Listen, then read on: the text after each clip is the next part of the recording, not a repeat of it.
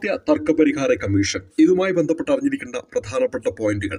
P S C പരീക്ഷയിൽ എപ്പോഴും ചോദിക്കാറുള്ള ഏറ്റവും പ്രധാനപ്പെട്ട ഒരു ഭാഗമാണ് ഉപഭോക്തൃ തർക്കപരിഹാര കമ്മീഷൻ. ഉപഭോക്തൃ തർക്കപരിഹാര കമ്മീഷനെ ജില്ലാ ഉപഭോക്തൃ തർക്കപരിഹാര കമ്മീഷൻ എന്നും സംസ്ഥാന ഉപഭോക്തൃ തർക്കപരിഹാര കമ്മീഷൻ എന്നും ദേശീയ ഉപഭോക്തൃ തർക്കപരിഹാര കമ്മീഷൻ എന്നും മൂന്നായിട്ട് തരംതിരിക്കുന്നു. ജില്ലാ ഉപഭോക്തൃ തർക്കപരിഹാര കമ്മീഷനെ ജില്ലാ കമ്മീഷൻ എന്നും സംസ്ഥാന ഉപഭോക്തൃ തർക്കപരിഹാര കമ്മീഷനെ സംസ്ഥാന കമ്മീഷൻ എന്നും ദേശീയ ഉപഭോക്തൃ തർക്കപരിഹാര കമ്മീഷനെ ദേശീയ കമ്മീഷൻ എന്നും വിളിക്കുന്നു. ജില്ലാ ഉപഭോക്തൃ തർക്കപരിഹാര കമ്മീഷനിലെ അംഗങ്ങളിലേക്ക് വരുമ്പോൾ പ്രസിഡന്റും രണ്ടിൽ കുറയാത്തതുമായ അംഗങ്ങളാണ് ജില്ലാ ഉപഭോക്തൃ തർക്കപരിഹാര കമ്മീഷനിലുള്ളത്. സംസ്ഥാനത്തേക്കും ദേശീയത്തിലേക്കും വരുമ്പോൾ പ്രസിഡന്റും നാലിൽ കുറയാത്ത അംഗങ്ങൾ.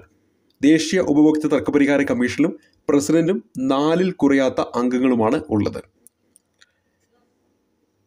അധികാര പരിധിയിലേക്ക് വരുമ്പോൾ അമ്പത് ലക്ഷത്തിന് താഴെയാണ്. ജില്ലാ ഉപഭോക്തൃ തർക്കപരിഹാര കമ്മീഷന്റെ അധികാര പരിധിയിലേക്ക് വരുമ്പോൾ അമ്പത് ലക്ഷത്തിന് താഴെയാണ്. എന്നാൽ സംസ്ഥാനത്തേക്ക് വരുമ്പോൾ അമ്പത് ലക്ഷത്തിനും രണ്ട് കോടിക്കും ഇടയിലാണ്.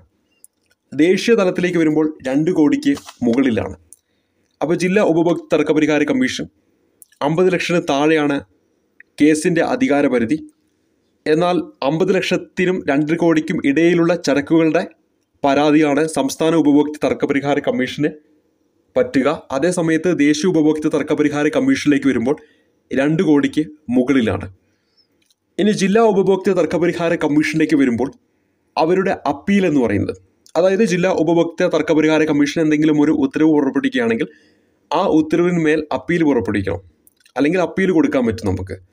ആ ഉത്തരവിന്റെ തീയതി മുതൽ എന്നാണോ ജില്ലാ ഉപഭോക്തൃ തർക്കപരിഹാര കമ്മീഷൻ ഒരു ഉത്തരവ് പുറപ്പെടുവിക്കുന്നത് ആ ഉത്തരവിന്റെ തീയതി മുതൽ നാൽപ്പത്തഞ്ച് ദിവസത്തിനുള്ളിൽ നമുക്ക് അപ്പീൽ കൊടുക്കാൻ പറ്റും. ആർക്ക് അപ്പീൽ കൊടുക്കാം? സംസ്ഥാന കമ്മീഷനിലാണ് അപ്പീൽ കൊടുക്കാൻ പറ്റുക. ഇനി സംസ്ഥാന ഉപഭോക്തൃ തർക്കപരിഹാര കമ്മീഷനിലേക്ക് വരുമ്പോൾ ഉത്തരവിന്റെ തീയതി മുതൽ മുപ്പത് ദിവസത്തിനുള്ളിൽ അപ്പീൽ കൊടുക്കാം ആർക്ക് അപ്പീൽ കൊടുക്കാം? ദേശീയ കമ്മീഷന് അപ്പീൽ കൊടുക്കാൻ പറ്റും. ഇനി ദേശീയ ഉപഭോക്തൃ തർക്കപരിഹാര കമ്മീഷനിലേക്ക് വരുമ്പോൾ ഉത്തരവിന്റെ തീയതി മുതൽ മുപ്പത് ദിവസത്തിനുള്ളിൽ അപ്പീൽ കൊടുക്കാൻ പറ്റും. ആർക്ക് അപ്പീൽ കൊടുക്കാം? സുപ്രീം കോടതിക്ക് അപ്പീൽ കൊടുക്കാൻ പറ്റും. ഉപഭോക്തൃ തർക്കപരിഹാര കമ്മീഷൻ. ജില്ലാ ഉപഭോക്തൃ തർക്കപരിഹാര കമ്മീഷൻ എന്നും സംസ്ഥാന ഉപഭോക്തൃ തർക്കപരിഹാര കമ്മീഷൻ എന്നും ദേശീയ ഉപഭോക്തൃ തർക്കപരിഹാര കമ്മീഷൻ എന്നും മൂന്നായി തിരിക്കുന്നു. ജില്ലാ കമ്മീഷനാണെങ്കിൽ സംസ്ഥാന കമ്മീഷനാണെങ്കിൽ ദേശീയ കമ്മീഷനാണെങ്കിൽ ഇങ്ങനെ നമുക്ക് എന്ത് ചെയ്യാം? ഈ പറഞ്ഞ ജില്ലാ ഉപഭോക്തൃ തർക്ക പരിഹാര കമ്മീഷനെ വിളിക്കാൻ പറ്റും. ജില്ലാ ഉപഭോക്തൃ തർക്ക കമ്മീഷനെ നമുക്ക് ജില്ലാ കമ്മീഷനെന്നും സംസ്ഥാന ഉപഭോക്തൃ തർക്ക പരിഹാര കമ്മീഷനെ സംസ്ഥാന കമ്മീഷനെന്നും ദേശീയ ഉപഭോക്തൃ തർക്ക പരിഹാര കമ്മീഷനെ ദേശീയ കമ്മീഷനെന്നും അറിയപ്പെടുന്നു.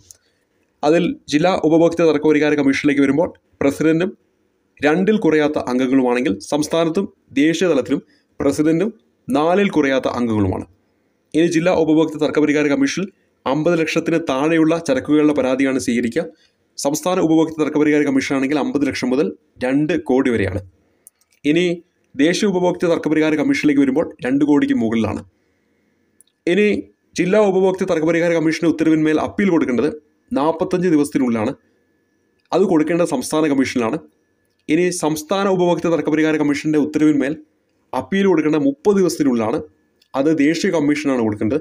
ഇനി ദേശീയ കമ്മീഷൻ പുറപ്പെടുവിക്കുന്ന ഉത്തരവിന്മേൽ അപ്പീൽ കൊടുക്കേണ്ട ഉത്തരവ് തീയതി മുതൽ മുപ്പത് ദിവസത്തിനുള്ളിലാണ്. അത് കൊടുക്കേണ്ടത് സുപ്രീം കോടതിക്കാണ്. അപ്പോൾ ഇത്രയും കാര്യങ്ങൾ വളരെ ഇമ്പോർട്ടന്റ് ആയിട്ട് അറിഞ്ഞിരിക്കണം. പി എസ് സി പരീക്ഷയിൽ എപ്പോഴും ചോദിക്കുന്നതാണ്. അറിഞ്ഞിരിക്കേണ്ടത് ചരക്കു സേവനങ്ങളുടെയോ സേവനങ്ങളുടെയോ മൊത്തം മൂല്യവും ക്ലെയിം ചെയ്ത നഷ്ടപരിഹാരവും അടിസ്ഥാനമാക്കി അടയ്ക്കേണ്ട ഫീസാണ് നമ്മൾ ഇനി പരിചയപ്പെടുന്നത്. ഇത് എപ്പോഴും പി എസ് സി ചോദിക്കാറുള്ളതാണ്. അഞ്ച് ലക്ഷം രൂപ വരെയുള്ള ഒരു പരാതിയാണ് നമ്മൾ കൊടുക്കുന്നതെങ്കിൽ അവിടെ ഫീസ് ഒന്നും തന്നെ വേണ്ട എന്ന കാര്യം ഓർത്തിരിക്കുക. അപ്പോൾ അഞ്ച് ലക്ഷം രൂപ വരെയുള്ള പരാതിയാണെങ്കിൽ ഫീസ് എന്താ? വേണ്ട എന്ന കാര്യം ഓർത്തിരിക്കുക. ഇനി അഞ്ച് ലക്ഷം മുതൽ പത്ത് ലക്ഷം വരെയാണെങ്കിലോ ഇരുന്നൂറ് രൂപയാണ് ഫീസ് ഇനി പത്ത് ലക്ഷം മുതൽ ഇരുപത് ലക്ഷമാണെങ്കിലോ നാനൂറ് രൂപയാണ് ഫീസ് വേണ്ടത്.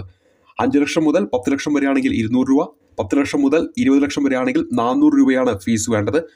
ഇരുപത് ലക്ഷം മുതൽ അൻപത് ലക്ഷം വരെയാണെങ്കിൽ ആയിരം രൂപയാണ് ഫീസ് അപ്പോൾ നമ്മളോട് പരിചയപ്പെട്ട കാര്യങ്ങൾ ഒരിക്കൽ കൂടി പറയാം. അഞ്ച് ലക്ഷം വരെയാണെങ്കിൽ ഫീസ് വേണ്ട. അഞ്ച് ലക്ഷം വരെയാണെങ്കിൽ എന്ത് വേണ്ട? ഫീസ് വേണ്ട എന്ന കാര്യം ഓർത്തിരിക്കുക. അഞ്ച് ലക്ഷം മുതൽ പത്ത് ലക്ഷം വരെയാണെങ്കിൽ ഇരുന്നൂറ് പത്ത് ലക്ഷം മുതൽ ഇരുപത് ലക്ഷം ആണെങ്കിൽ നാനൂറ് ഇരുപത് ലക്ഷം മുതൽ അൻപത് ലക്ഷം ആണെങ്കിലോ ആയിരം രൂപയാണ് ഫീസായിട്ട് പറയുന്നത്. ഇനി അൻപത് ലക്ഷം മുതൽ ഒരു കോടിയാണെങ്കിലോ രണ്ടായിരം രൂപ അമ്പത് ലക്ഷം മുതൽ ഒരു കോടിയാണെങ്കിൽ രണ്ടായിരം രൂപയാണ് ഫീസ് ഒരു കോടി മുതൽ രണ്ട് കോടിയാണെങ്കിൽ രണ്ടായിരത്തി അഞ്ഞൂറ് ഒരു കോടി മുതൽ രണ്ട് കോടിയാണെങ്കിൽ രണ്ടായിരത്തി അഞ്ഞൂറ് രണ്ട് കോടി മുതൽ നാല് കോടി വരെയാണെങ്കിൽ മൂവായിരം നാല് കോടി മുതൽ ആറ് കോടി വരെയാണെങ്കിൽ നാലായിരം രൂപയാണ്. നാല് കോടി മുതൽ ആറ് കോടി വരെയാണെങ്കിൽ നാലായിരം രൂപയാണ്. ആറ് കോടി മുതൽ എട്ട് കോടി വരെയാണെങ്കിൽ അയ്യായിരം എട്ട് കോടി മുതൽ പത്ത് കോടി വരെയാണെങ്കിൽ ആറായിരം രൂപ പത്ത് കോടിക്ക് മുകളിലാണെങ്കിൽ ഏഴായിരത്തി അഞ്ഞൂറ് രൂപയാണ്. ഇപ്പോൾ ഇവിടെ നമ്മൾ പരിചയപ്പെട്ടത് ഫീസാണ് പി എസ് സി പരീക്ഷയിൽ എപ്പോഴും ചോദിക്കുന്നതാണ്. അഞ്ച് ലക്ഷം രൂപ വരെ ഫീസ് വേണ്ടാന്ന് ഓർത്തിരിക്കുക. അഞ്ച് ലക്ഷം രൂപ മുതൽ പത്ത് ലക്ഷം രൂപ വരെയാണെങ്കിൽ ഇരുന്നൂറ് രൂപയാണെന്ന് ഓർത്തിരിക്കുക.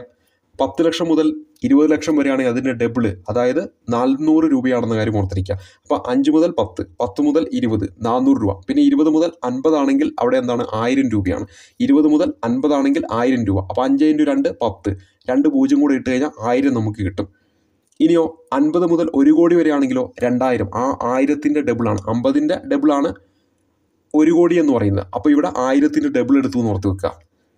ഇനി അത് കഴിഞ്ഞിട്ട് ഇവിടെ പറയുന്നത് ഒരു കോടി മുതൽ രണ്ട് കോടി വരെയാണ്. അപ്പോൾ ഒരു കോടി മുതൽ രണ്ട് കോടി വരെയാണ്. അപ്പോൾ ഒരു കോടി മുതൽ രണ്ട് കോടി വരെയാണെങ്കിലോ രണ്ട് അഞ്ഞൂറ് രണ്ട് അഞ്ഞൂറാണ്.